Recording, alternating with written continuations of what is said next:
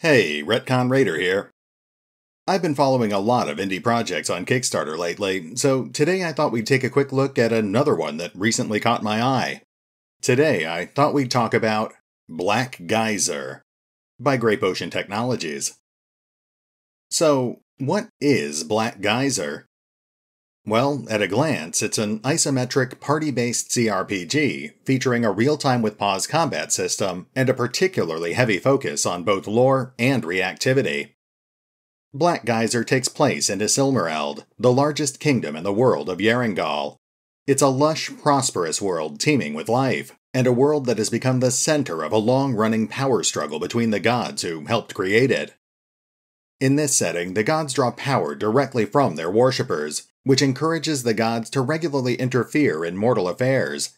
Some of these gods, such as the Supreme King Alnarius and Talindia the Green Mother, were benevolent, but others, such as the devil god Hrothgor and Zornilsa the goddess of greed, had far darker plans for Yerengal. Over time, this direct divine interference gave rise to powerful demigods who claimed control of various parts of Yerengal, the worst of these demigods were the monsters created by Hrothgor, who sought to control the world through fear and terror. But even as the mortal races suffered, the more benevolent gods would not intervene. Although Supreme King Alnarius did not approve of the darker gods' machinations, he firmly believed that the mortal races needed to prove their worth by persevering against such threats. Eventually, the mortal races grew tired of this divine manipulation, shunning the influence of these oft malevolent demigods. A group of powerful heroes defeated the worst of Hrothgor's creations and founded the Kingdom of Isilmarald, a melting pot where all mortal races were welcome, but the demigods were not. Alnarius was so impressed by this display of valor and harmony that he blessed this new kingdom, granting them good fortune for as long as they remained united. Isilmarald enjoyed centuries of peace and prosperity as a result, and, no longer feared or worshipped, the dark gods languished and their power waned. Reduced to a shadow of their former selves, the devil god Hrothgor and Zornilsa the goddess of greed hatched a new plot to subvert the mortal races. Where fear had simply forced the mortal races to band together out of necessity, Zornilsa hoped that greed would instead tear them apart.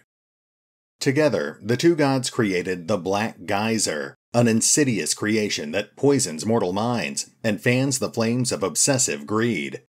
Now, a decade later, the kingdom is on the verge of civil war, and the player is thrust into a pivotal role as the hero or villain who will either reunite the factions of Isilmarald or help bring about their downfall.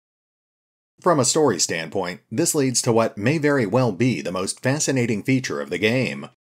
Due to the curse of greed inflicted by the Black Geyser, the player's actions have a direct and sometimes dramatic effect on the world around them, if the player promotes greed in some way, indulging their own selfish desires or encouraging it in others, then the curse will grow stronger and the kingdom will begin to decline. If the player instead fights these baser urges, behaving in a more selfless manner, then they can prevent this decline, or possibly even reverse it. As the game progresses, the strength of the curse will have a tangible effect on the world around the player. NPCs will become suspicious and hostile as the curse grows stronger, and may even turn to banditry to help satiate their lust for gold. Vineyards and mansions, both signs of a more prosperous time, will become the center of greed fueled struggles that will often leave them in ruins. On a more personal level, the player will find that their own greed will often be reflected in the people around them. Merchants will charge higher prices, quest givers will offer more meager rewards, and, at its most extreme, the curse may even cause the dead to reanimate as near mindless ghosts, obsessively focused on whatever materialistic goals they pursued in life. This will ultimately allow for very different playstyles, with an unusually heavy focus on player choice and consequence. The strength of the curse will have a direct impact on numerous aspects of the game, including the challenges the player will face, the items they will find, and the allies and enemies they will encounter. From a gameplay standpoint, Black Geyser is presented as a fairly conventional isometric CRPG, drawing heavy inspiration from classic games like Baldur's Gate and Icewind Dale. Although it does use a unique new rule system, there are several obvious similarities to pre existing games, such as the class based character system and the slot based spell memorization. However, the developers have included several interesting new mechanics that help set Black Geyser apart from other similar games. For example, the game will include several particularly interesting skills, such as brewing and drying, planting items, and throwing powders.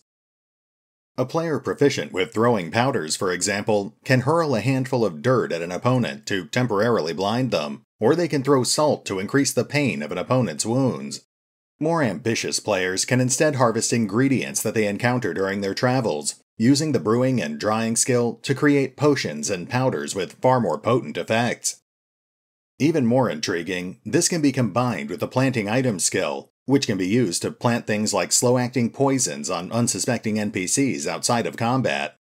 This can theoretically allow the player to covertly weaken or even neutralize dangerous opponents, allowing them to avoid messy fights or to quietly sneak into well guarded locations. The player can also use this skill to plant other things in an NPC's inventory, such as stolen goods, which they can then use to frame the NPC for a crime. Of course, that's not to say the player will be required to make use of those sorts of skills.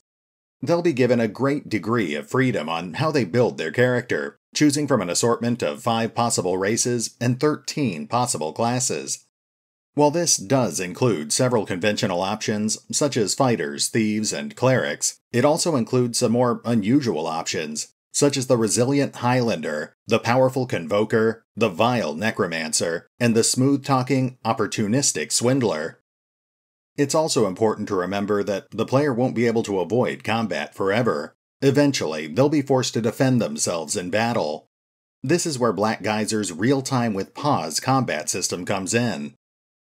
As with many similar games, combatants all move simultaneously in real time, but the player can pause combat at any time to assign new orders to their party. This will be simple at first, as the player will only need to control their personal character, but over time, they will encounter and potentially recruit additional party members. This will quickly lead to more complex tactical encounters, as the player juggles multiple characters at once, each with their own unique strengths and weaknesses. Although we don't know exactly how many companions are planned for the final game, we do know that the player can recruit up to five companions at a time. It also sounds like the player will have a relatively wide variety to choose from, with their choice of companions, as well as the nature of those companions, changing depending on the current strength of the curse. Under ideal circumstances, these companions will represent staunch allies, or possibly even romantic partners, but if the curse grows too strong, then they may end up turning on the player as righteous foes or greedy rivals. Ultimately, that's really what it boils down to. Black Geyser is a particularly intriguing fantasy RPG focused almost entirely on choice and consequence. While it resembles a fairly conventional retro CRPG, it sounds like the developers are keen on presenting the player with a level of reactivity that you just don't see in a lot of games. Now, the developers have spent years working on Black Geyser, and just recently ran a successful crowdfunding campaign to help finish the game's development. Not only did they meet their rather modest goal of just 50,000 euros, but they also flew through all of their planned stretch goals and social goals, adding significant new content to their original vision of the game. While the crowdfunding campaign did officially end back in May, the developers are still accepting late pledges through PayPal. You can back the project for as low as 19 euros, which gets you a digital copy of the game when it comes out in August of 2019. Higher tiers or optional add ons will also grant numerous additional rewards, such as access to the game's early beta or future expansion packs. While there aren't any more monetary or social stretch goals to unlock, every new backer will still count towards one final special stretch goal Emmanuel's Hoard. This is essentially an in game mega dungeon, which represents the abandoned estate of Lord Emmanuel, a particularly greedy and vile noble who vanished under mysterious circumstances. Originally intended to just be a simple manor house, the developers have added new sublocations based on the total number of backers. Five sublocations have been unlocked so far, with another one planned if the project reaches at least 4,500 backers. Overall, I personally think that Black Geyser is a project with a lot of potential. while it's certainly not going to be able to compete with games like Pillars of Eternity or Divinity Original Sin on a graphical level, the developers have still managed to put together a very intriguing new take on the conventional CRPG formula. If you think that Black Geyser looks like the sort of game that you might enjoy, then I encourage you to go check it out. You can find out more about the project by visiting the official website, the official YouTube channel, or the original crowdfunding campaign over on Kickstarter. As always, links are in the description.